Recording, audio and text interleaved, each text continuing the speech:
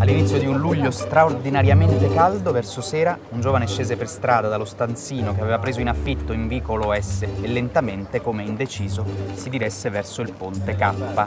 Tutti credo che sappiano la trama di Delitto e Castigo. C'è un giovane russo che si trova a essere un assassino senza nemmeno rendersene conto. E se lo trattassimo da fatto di cronaca, andando a vedere se le persone reagiscono a questa notizia che si somma a un'infinità di notizie di sangue? Facciamo una domanda?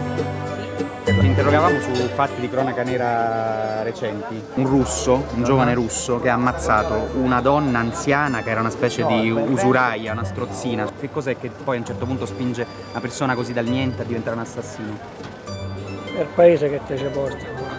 Ma, ma lei è un po' spaventato da questo, no? Le singole persone sono, sono, spaventato di notte tardi, sì, da queste parti, questo sì. Cioè quando senti No, questi guarda, fatti di, realtà di sangue. Mi sento anche di peggio. Ma fa un po' paura questo? Eh beh, penso proprio di sì, eh. Non ha sentito il caso di cronaca, non segue la cronaca No, nera. no, la trovo Ma perché non la segue? Perché normalmente non seguo, non guardo telegiornali, non seguo la cronaca nera. Nean- neanche quando la cronaca nera è delitto e castigo?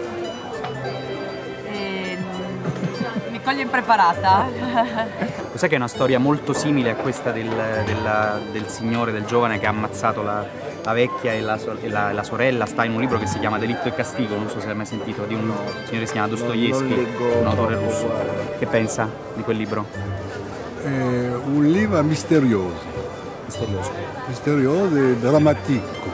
È in italiano, eh, è un po' lungo, però piano piano. la faccio a leggere. Neanche io l'avrei letto in russo, effettivamente. C'è una storia interessante. eh? Piano piano, magari a tempo perso.